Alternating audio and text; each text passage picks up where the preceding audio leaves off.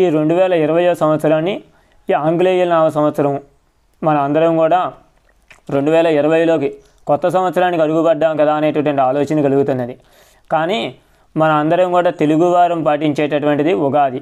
ఆ ఉగాది నాడు ఎట్లా అయితే మనం చేసుకుంటూ ఉంటామో ఈ పాటించేటటువంటి వారు ఈ యొక్క ఆంగ్లేయుల నాలుగు సంవత్సరాన్ని పాటించేటటువంటి వారు అందరూ కూడా ఈ ఉగాది లాగానే షడ్రుషులు దీనికి వాడకపోయినా తలస్నానం చేయుట కానీ లేదా దైవ దర్శన పెద్దలకు నమస్కరించుకునుట అనేటటువంటిది నూతన వస్త్రములను ధరించుట ఇలాంటివి చేసుకునుట మంచిది.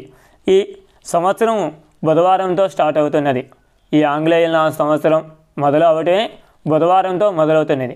ఈ బుధవారంకు అధిపతి అయినటువంటి ఆ మహాగణాధిపతిని షష్ఠి తిది రోజున ప్రారంభమవుతున్నది కాబట్టి సుబ్రహ్మణ్యేశ్వర స్వామిని దర్శించి ఎవరైతే పూజించుతారో అట్టి వారికి ఈ యొక్క సంవత్సరం మొత్తము కూడా లాభదాయకం జరగాలని చెప్పి మా యొక్క హనుమత్ కృపా కటాక్షములు వారికి కలగాలని చెప్పి కోరుకుంటున్నాము.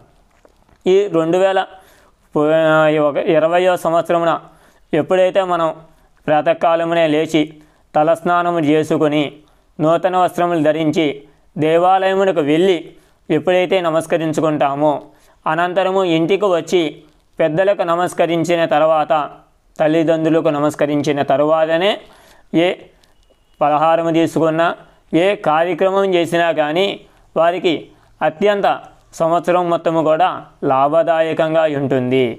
ఈ సంవత్సరంలో ఎక్కువగా మనము పూజించాల్సినటువంటిది విఘ్నేశ్వరుడు.